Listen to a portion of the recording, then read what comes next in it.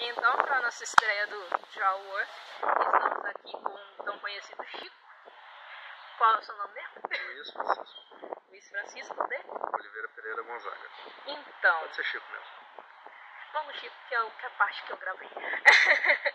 então, Chico, esclarece para mim como você fez a Semana da Biologia na UFES. Inclusive, quero te parabenizar porque. Foi muito boa, teve um conteúdo muito bom. Infelizmente eu não participei da mesa redonda, que mais pegou fogo aqui. Rio Doce. Nossa, foi fantástico. A gente teve 24 pessoas trabalhando na Semana da Biologia. Mais ou menos PT 7, parte da organização prévia, né? Comissão organizadora e o resto como monitor, uma coisa assim. E a gente teve essa ideia porque no ano de 2014, se não me engano, teve um evento em São Mateus que foi muito bom, teve um evento em Alegre que foi muito bom também, e teve um aqui que deixou um pouco a desejar. Eu falei, pô gente, não tem condição de ter nos outros dois campos da UFS ter um evento muito melhor do que o nosso, né? Vamos tentar fazer um. A gente teve essa ideia de fazer a, a Semana da Biologia em 2015. É, tá, a gente aqui reformulando a Semana da Biologia em 2015, só que aí, por uma série de, de motivos, a gente não conseguiu fazer nem no primeiro nem no segundo semestre. Esse ano. Aí acabou que a gente se enrolou um pouco também e acabou saindo no segundo semestre agora desse ano. E foi muito boa, né? Pelo que o pessoal tá, tá falando aí. Não, eu acho teve uma repercussão ótima. Até fiz umas comparações da, da a gente já teve semanas lá e tal, conteúdos ótimos, mas que nem o representante que mandaram do IEMA, ele estava muito melhor informado do que a representante que foi chamada para dar palestra, que ficou mais puxando sardinha para o político que tinha lá, ao invés de falar do conteúdo propriamente dito, responder as questões. Isso eu achei uma falácia. Saí no meio da palestra, eu não aguentei sair mesmo. Sou dessa. É, mas aqui eu acho que todo mundo expôs muito bem assim, o cada ponto de vista sem ficar muito. sem ficar com medo, né? Sem ficar é, tentando puxar pra nenhum lado, assim, meio que esconder todo mundo. Acho que falou muito com clareza, assim, sabe? Na mesa redonda do Rio Doce. Sim, eu entendo. Foi a melhor. E eu queria ter ficado até um. Ai, que tristeza, mas tudo bem, né? Escolhas e escolhas.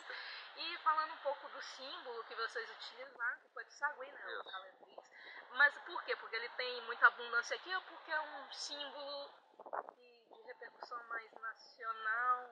Na verdade, a gente começou ideia de símbolo pro evento, como a gente estava meio que reformulando, né? A gente já vamos dar tudo mesmo, tá? Símbolo, etc e tal.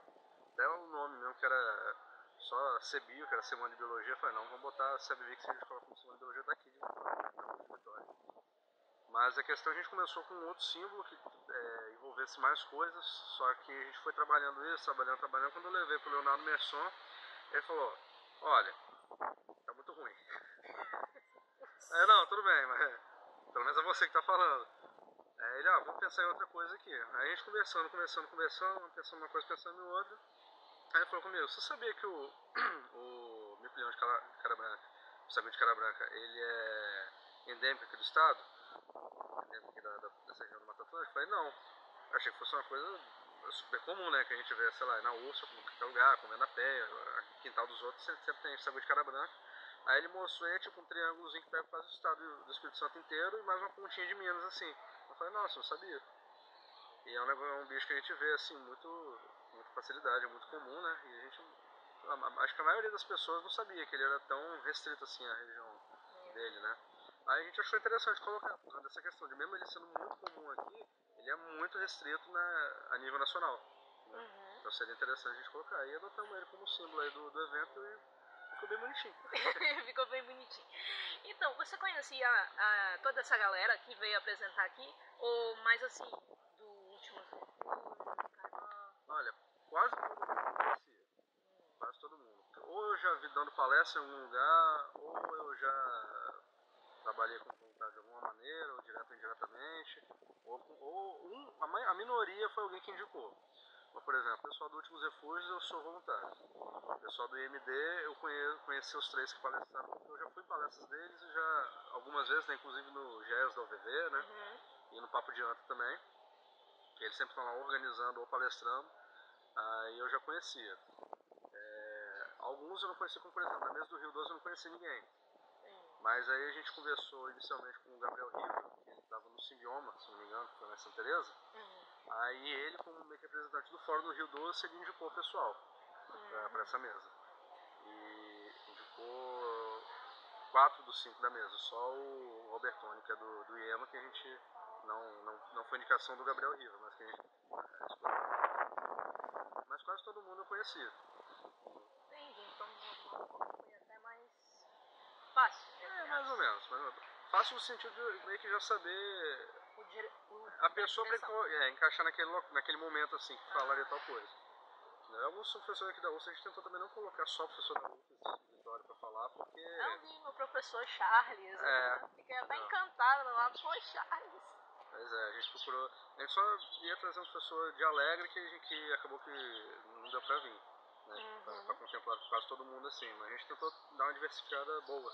Entendeu? Acho que conseguiu essa, essa ideia. Ficou bem legal, também gostei da ideia dos copos, cada um trazer o Uhum. seu, foi legal. É, a gente sempre tenta, mas no final tem que trazer, tem que usar copo de, pla- de descartável mesmo. Descartável mesmo. A galera ainda tem que pegar pelo lado dessa uma ciência sustentável aí que a gente está tentando aderir, inclusive com a nossa page aí, que é mais para isso mesmo, é a nossa direção. Então tá, acho que com isso fechei as perguntas. Você quer dizer mais alguma coisa? Ah, eu queria agradecer a todo mundo que veio no evento, né? Que acreditou que ia ser um evento bacana. A gente começou assim com. Vamos dizer assim, um monte de gente dispersa, assim, só falando, ah, vamos fazer evento, vamos fazer evento, vamos fazer evento, mas tava meio nebuloso ainda. Aí teve uma que finalmente a gente sentou, não, vamos fazer isso aqui, começamos a botar no papel e tal meio que a gente chamou o pessoal para participar e o pessoal não tinha muito garantia, né? Porque é um é evento novo, né? uhum. né? Meio que perdeu, de certa maneira, a tradição e a gente está resgatando isso agora, só que com, com um novo modelo de evento.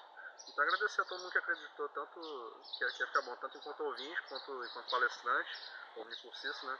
E ver aí, eu acho que foi muito bom. E vamos nos preparar para a próxima edição.